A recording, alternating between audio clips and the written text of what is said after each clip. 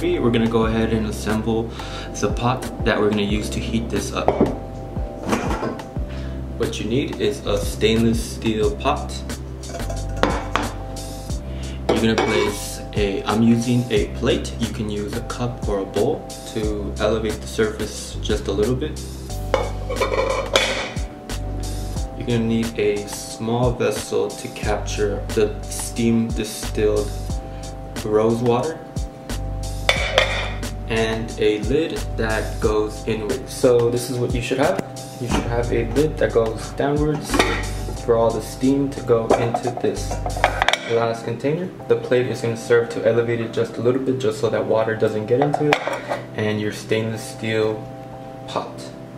Now you go ahead and pour all of your roses into your designated container. So this is essentially what you should have.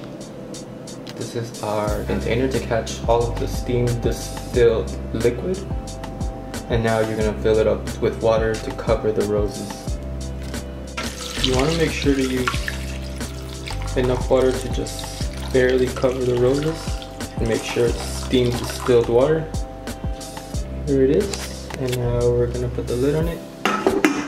We're gonna transfer this to a high heat stovetop and then we're going to start covering it ice so we can create condensation.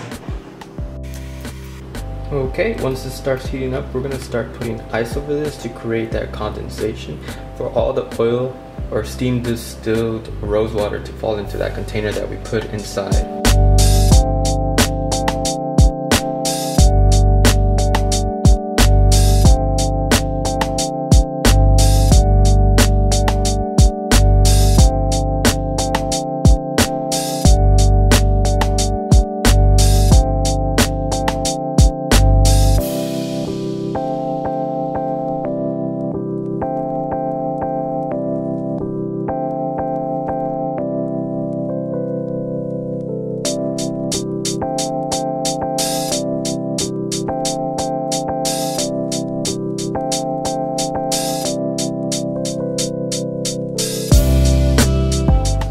And there you have it, one very simple way to get two forms of rose water. You have the boiled rose water, which gives you this darker color, and then you have the steam distilled, which is a concentrated version full of a lot of oils from the roses.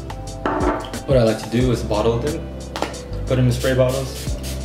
Whenever I want to just spray myself, it's really great, really works really great for toning the skin.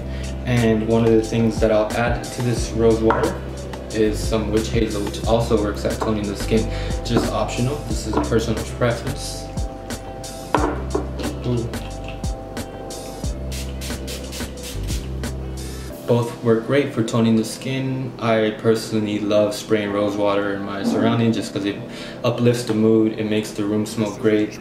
So I really hope that you guys give this video a try. Try this recipe at home. And if you like the content, subscribe and follow me on all social medias at Avenues by Jay. Peace.